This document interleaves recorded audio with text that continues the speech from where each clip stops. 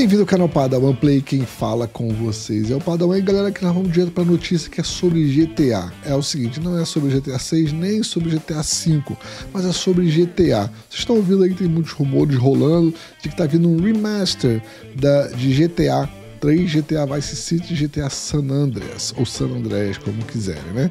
Bom, tá o rumor falando, tá dizendo que vai sair para Nintendo Switch também, vai sair para PS4, PS5, vai sair para todas as plataformas. Então, é o que estão dizendo.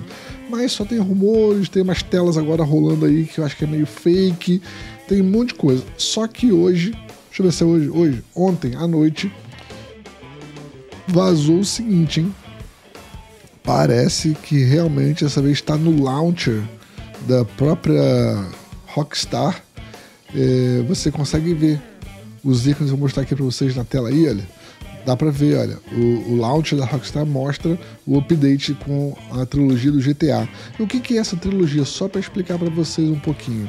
Fizeram uma. É mais uma forma de ganhar um dinheiro, né? Fizeram um remaster, tá? Usando o Real Engine. Exatamente. Para quê? Pra, da Epic Games, né? Para melhorar a qualidade do gráfico e tornar o jogo mais bonito, né? Então parece que vai ser essa trilogia dos três juntos. Vai ser o GTA 3, GTA Vice City e GTA San Andreas, ou San Andreas, como vocês quiserem. Isso para quê? Para comemorar 20 anos de GTA 3, que realmente foi um marco aí é, definitivo para o GTA.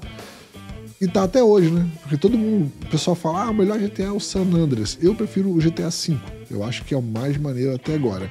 Mas o GTA San Andreas também é bem legal. Se eles fizerem esse remaster realmente aqui, se isso realmente vai sair, for sair, vai sair. Se for realmente for sair, eu devo trazer aqui pro canal também um pouquinho de cada um, pelo menos aqui. Não sei se eu vou trazer tudo, né?